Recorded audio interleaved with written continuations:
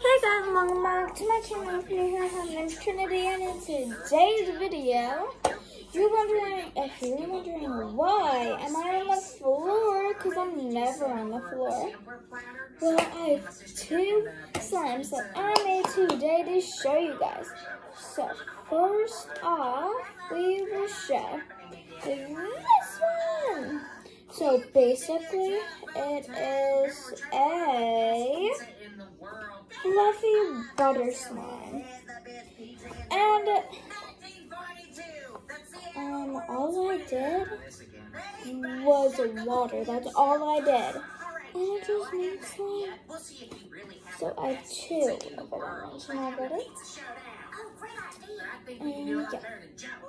So it used to be putty.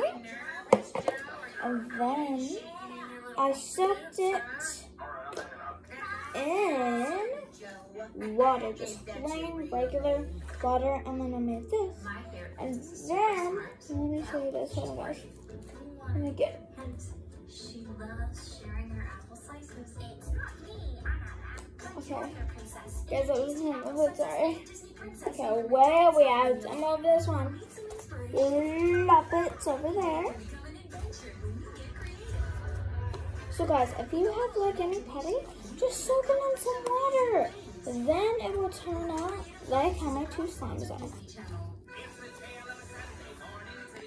This one is a little bit sticky, but oh, and did I not mention? Once you do this, if you want it like nice and fluffy and soft, and the spread like that, then you will have to do it more than once. Just let the it into the water so that first, that once you take it out, do this, and then just lay it flat, and then do it all again with the another piece, and just keep on doing it till you think you want to stop. And if you do it six times, five times is enough.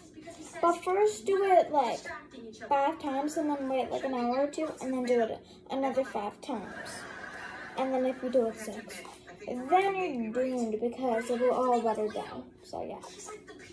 So I just wanted to show you guys that real quick. Guys, show this bucket.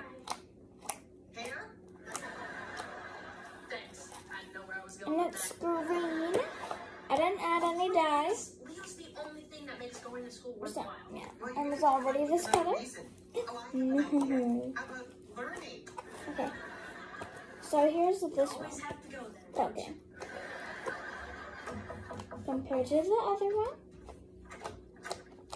Okay. So, guys, tell me which one is better. Is the big one or the tiny one? I made two. Yeah. Okay, so thank you guys so much for watching. I love you guys so much. Have a great rest of your day, morning, night, wherever you are. Right now it's night where I am. As you can see, the lights are on. And yeah, love you guys so much. And I will see you guys tomorrow. Peace out.